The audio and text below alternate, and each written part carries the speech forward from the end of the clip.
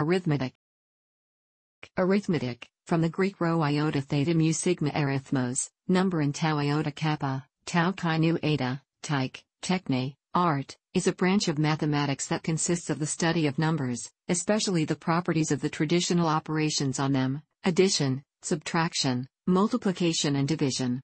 Arithmetic is an elementary part of number theory, and number theory is considered to be one of the top-level divisions of modern mathematics, along with algebra, geometry, and analysis. The terms arithmetic and higher arithmetic were used until the beginning of the 20th century as synonyms for number theory and are sometimes still used to refer to a wider part of number theory.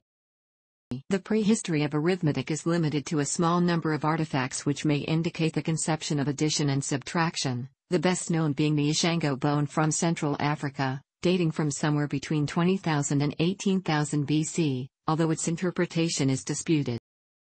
The earliest written records indicate the Egyptians and Babylonians used all the elementary arithmetic operations as early as 2000 BC. These artifacts do not always reveal the specific process used for solving problems, but the characteristics of the particular numeral system strongly influence the complexity of the methods. The hieroglyphic system for Egyptian numerals, like the later Roman numerals, descended from tally marks used for counting. In both cases, this origin resulted in values that just a decimal base but did not include positional notation. Complex calculations with Roman numerals required the assistance of a counting board or the Roman abacus to obtain results. Early number systems that included positional notation were not decimal, including the sexagesimal, base 60, system for Babylonian numerals and the vigesimal, base 20, system that defined Maya numerals. Because of this place value concept, the ability to reuse the same digits for different values contributed to simpler and more efficient methods of calculation. The continuous historical development of modern arithmetic starts with the Hellenistic civilization of ancient Greece, although it originated much later than the Babylonian and Egyptian examples. Prior to the works of Euclid around 300 BC, Greek studies in mathematics overlapped with philosophical and mystical beliefs. For example, Nicomachus summarized the viewpoint of the earlier Pythagorean approach to numbers, and their relationships to each other, in his Introduction to Arithmetic. Greek numerals were used by Archimedes, Diophantus and others in a positional notation not very different from ours. The ancient Greeks lacked a symbol for zero until the Hellenistic period, and they used three separate sets of symbols as digits, one set for the units place, one for the tens place, and one for the hundreds. For the thousands place they would reuse the symbols for the units place, and so on. Their addition algorithm was identical to ours, and their multiplication algorithm was only very slightly different. Their long division algorithm was the same, and the digit-by-digit square root algorithm, popularly used as recently as the 20th century, was known to Archimedes, who may have invented it. He preferred it to Hero's method of successive approximation because, once computed, a digit doesn't change, and the square roots of perfect squares, such as 7,485,696, terminate immediately as 2,736. For numbers with a fractional part, such as 546.934, they used negative powers of 60 instead of negative powers of 10 for the fractional part 0.934. The ancient Chinese had advanced arithmetic studies dating from the Shang dynasty and continuing through the Tang dynasty, from basic numbers to advanced algebra. The ancient Chinese used a positional notation similar to that of the Greeks. Since they also lacked a symbol for zero, they had one set of symbols for the units place, and a second set for the tens place. For the hundreds place they then reused the symbols for the units place, and so on.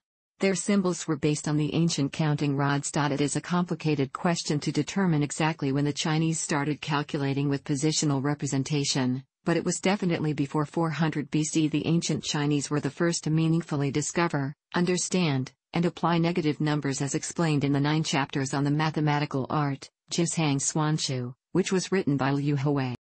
The gradual development of the Hindu-Arabic numeral system independently devised the place value concept and positional notation, which combined the simpler methods for computations with a decimal base and the use of a digit representing zero. This allowed the system to consistently represent both large and small integers. This approach eventually replaced all other systems.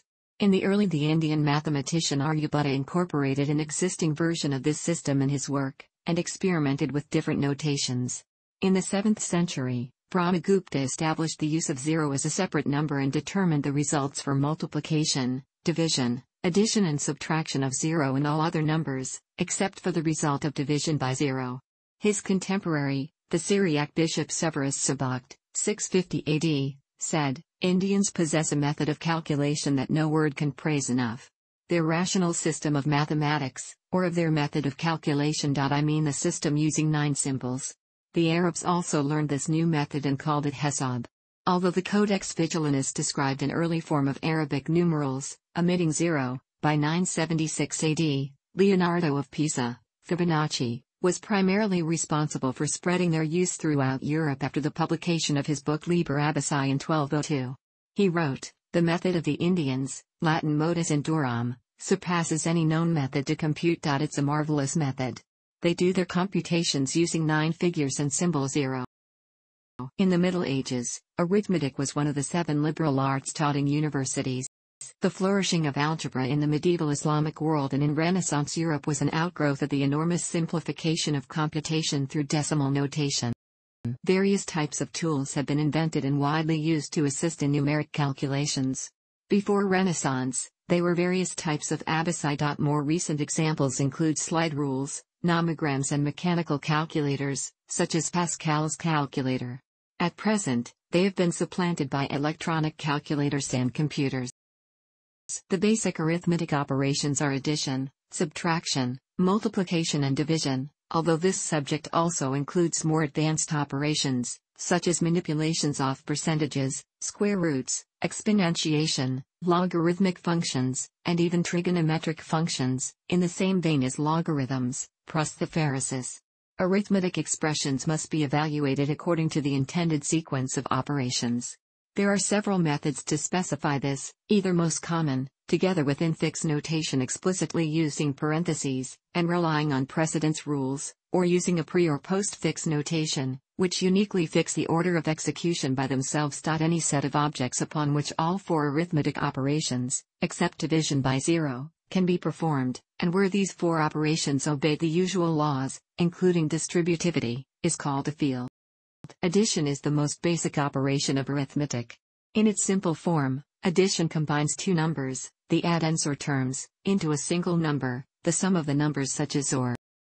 Adding finitely many numbers can be viewed as repeated simple addition. This procedure is known as summation, a term also used to denote the definition for adding infinitely many numbers in an infinite series. Repeated addition of the number 1 is the most basic form of counting. The result of adding is usually called the successor of the original number. Addition is commutative and associative, so the order in which finitely many terms are added does not matter. The identity element for a binary operation is the number that, when combined with any number, yields the same number as result.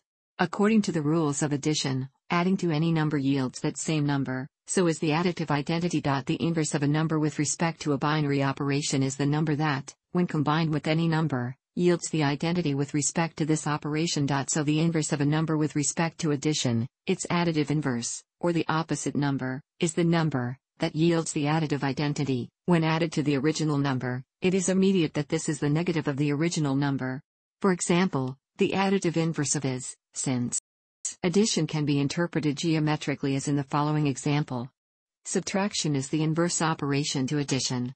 Subtraction finds the difference between two numbers, the minuend minus the subtrahend, resorting to the previously established addition, this is to say that the difference is the number that, when added to the subtrahend, results in the minuend, for positive arguments and holds in any case, if minuend and subtrahend are equal, the difference. Subtraction is neither commutative nor associative.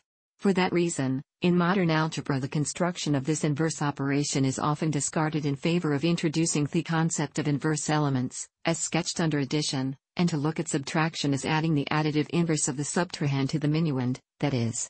The immediate price of discarding the binary operation of subtraction is the introduction of the trivial unary operation, delivering the additive inverse for any given number, and losing the immediate access to the notion of difference, which is potentially misleading, anyhow, when negative arguments are involved. For any representation of numbers there are methods for calculating results, some of which are particularly advantageous in exploiting procedures, existing for one operation, by small alterations also for others.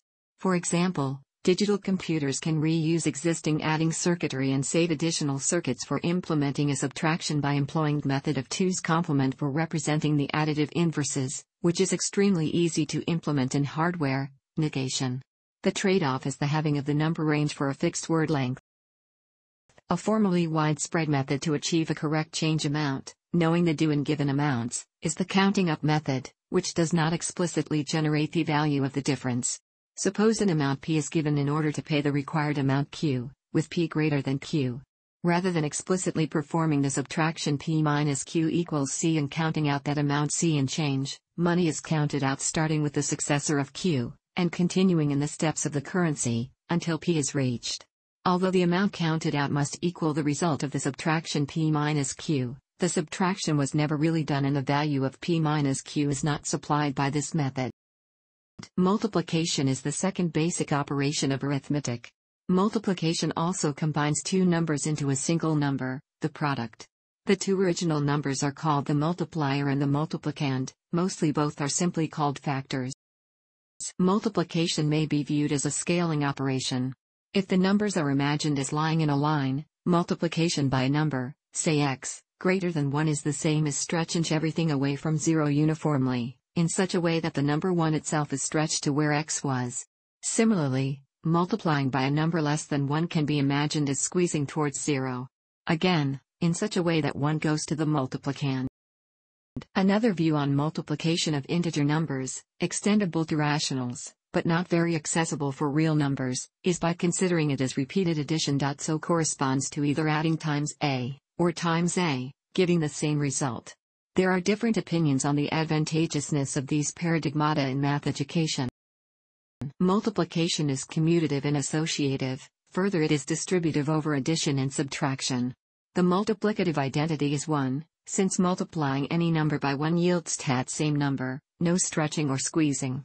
The multiplicative inverse for any number except is the reciprocal of this number, because multiplying the reciprocal of any number by the number itself yields the multiplicative identity is the only number without a multiplicative inverse, and the result of multiplying any number and is again one says, is not contained in the multiplicative group of the numbers. The product of A and B is written as OR. When A or B are expressions not written simply with digits, it is also written by simple juxtaposition. In computer programming languages and software packages in which one can only use characters normally found on a keyboard, it is often written with an asterisk. Algorithms implementing the operation of multiplication for various representations of numbers are by far more costly and laborious than those for addition. Those accessible for manual computation either rely on breaking down the factors to single place values and apply repeated addition, or employ tables or slide rules, thereby mapping the multiplication to addition and back. These methods are outdated and replaced by mobile devices. Computers utilize diverse sophisticated and highly optimized algorithms to implement multiplication and division for the various number formats supported in their system. Division is essentially the inverse operation to multiplication. Division finds the quotient of two numbers, the dividend divided by the divisor. Any dividend divided by zero is undefined. For distinct positive numbers, if the dividend is larger than the divisor, the quotient is greater than 1, otherwise it is less than 1, a similar rule applies for negative numbers. The quotient multiplied by the divisor always yields the dividend. Division is neither commutative nor associative. So as explained for subtraction, in modern algebra the construction of the division is discarded in favor of constructing the inverse elements with respect to multiplication, as introduced there. That is, division is a multiplication with the dividend and the reciprocal of the divisor as factors, that is, Within natural numbers there is also a different, but related notion, the Euclidean division, giving two results of dividing a natural, numerator, by a natural, denominator, first, a natural, quotient, and second, a natural, remainder, such that and decimal representation refers exclusively, in common use, to the written numeral system employing Arabic numerals as the digits for a radix 10, decimal, positional notation, however, any numeral system based on powers of 10, for example, Greek, Cyrillic, Roman, or Chinese numerals may conceptually be described as decimal notation or decimal representation. Modern methods for four fundamental operations, addition, subtraction, Multiplication and division were first devised by Brahmagupta of India. This was known during medieval Europe as modus indorum or method of the Indians. Positional notation, also known as place value notation, refers to the representation or encoding of numbers using the same symbol for the different orders of magnitude, for example, the ones place, tens place, hundreds place, and, with a radix point, using those same symbols to represent fractions, for example, the tenths place, hundreds place. For example, 507.36 denotes 500s, 10, plus 0 tens, 10, plus 7 units, 10, plus 3 tenths, 10, plus 6 hundredths, 10. The concept of zero as a number comparable to the other basic digits is essential to this notation, as is the concept of zero's use as a placeholder, and as is the definition of multiplication and addition with zero. The use of zero as a placeholder and, therefore, the use of a positional notation is first attested to in the Jain text from India entitled the Lokavibhaga, dated 458 AD and it was only in the early 13th century that these concepts, transmitted via the scholarship of the Arabic world, were introduced into Europe by Fibonacci uses Hindu-Arabic numeral system. Algorithm comprises all of the rules for performing arithmetic computations using this type of written numeral. For example, Addition produces the sum of two arbitrary numbers. The result is calculated by the repeated addition of single digits from each number that occupies the same position, proceeding from right to left. An addition table with 10 rows and 10 columns displays all possible values for each sum. If an individual sum exceeds the value 9, the result is represented with two digits. The rightmost digit is the value for the current position, and the result for the subsequent addition of the digits to the left increases by the value of the second, leftmost, digit, which is always 1. This adjustment is termed a carry of the value 1. The process for multiplying two arbitrary numbers is similar to the process for addition. A multiplication table with 10 rows and 10 columns lists the results for each pair of digits. If an individual product of a pair of digits exceeds 9, the carry adjustment increases the result of any subsequent multiplication from digits to the left by a value equal to the second, leftmost, digit, which is any value from Additional steps define the final result. Similar techniques exist for subtraction and division. The creation of a correct process for multiplication relies on the relationship between values of adjacent digits. The value for any single digit in a numeral depends on its position. Also, each position to the left represents a value 10 times larger than the position to the right. In mathematical terms, the exponent for the radix, base, of 10 increases by 1, to the left, or decreases by 1, to the right. Therefore, the value for any arbitrary digit is multiplied by a value of the form 10 with integer n. The list of values corresponding to all possible positions for a single digit is written. Repeated multiplication of any value in this list by 10 produces another value in the list. In mathematical terminology, this characteristic is defined as closure, and the previous list is described as closed under multiplication. It is the basis for correctly finding the results of multiplication using the previous technique. This outcome is one example of the uses of number theory. Compound unit arithmetic is the application of arithmetic operations to mixed radix quantities such as feet and inches, gallons and pints, pounds, shillings and pence, and so on. Prior to the use of decimal-based systems of money and units of measure, the use of compound unit arithmetic formed a significant part of commerce and industry. The techniques used for compound unit arithmetic were developed over many centuries and are well documented in many textbooks in many different languages. In addition to the basic arithmetic functions encountered in decimal arithmetic, compound unit arithmetic employs three more functions. Knowledge of the relationship between the various units of measure, their multiples and their submultiples forms an essential part of compound unit arithmetic. There are two basic approaches to compound unit arithmetic. During the 19th and 20th centuries various aids were developed to aid the manipulation of compound units, particularly in commercial applications. The most common aids were mechanical tills which were adapted in countries such as the United Kingdom to accommodate pounds, shillings, pennies and farthings and ready reckoners, books aimed at traders that cataloged the results of various routine calculations such as the percentages or multiples of various sums of money. One typical booklet that ran to 150 pages tabulated multiples from 1 to 10,000 at the various prices from 1 farthing to 1 pound.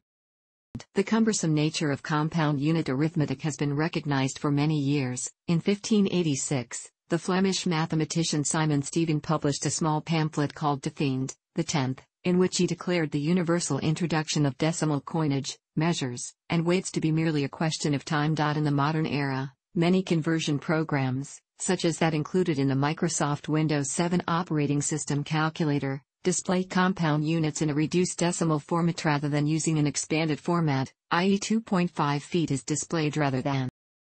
Until the 19th century, number theory was a synonym of arithmetic. The address problems were directly related to the basic operations and concerned primality, divisibility, and the solution of equations in integers, such as Fermat's last theorem.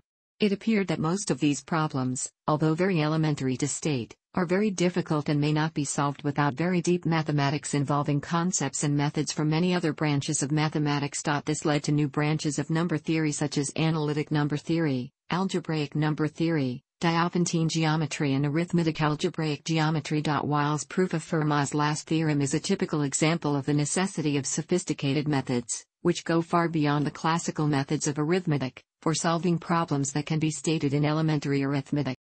Primary education in mathematics often places a strong focus on algorithms for the arithmetic of natural numbers, integers, fractions, and decimals, using the decimal place value system. This study is sometimes known as algorism. The difficulty and unmotivated appearance of these algorithms has long led educators to question this curriculum, advocating the early teaching of more central and intuitive mathematical ideas.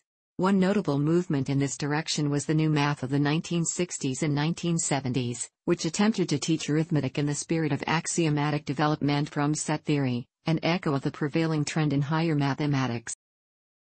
Also, arithmetic was used by Islamic scholars in order to teach application of the rulings related to zakat and irth. This was done in a book entitled The Best of Arithmetic by Abd al-Fattah al-Damyati. The book begins with the foundations of mathematics and proceeds to its application in the later chapters. Thanks for watching. Don't forget like the video and don't forget to subscribe.